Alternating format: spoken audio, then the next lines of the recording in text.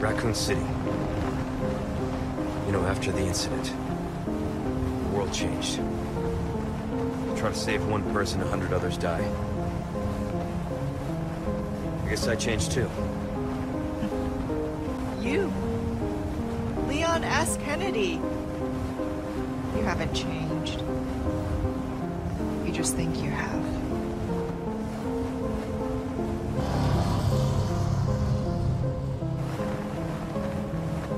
Here's my question. Have you changed, Ada?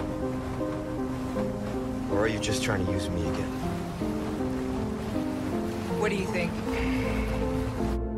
You know, I led a pretty shitty life. But now, eh? What do you think, Leon? People can change, right?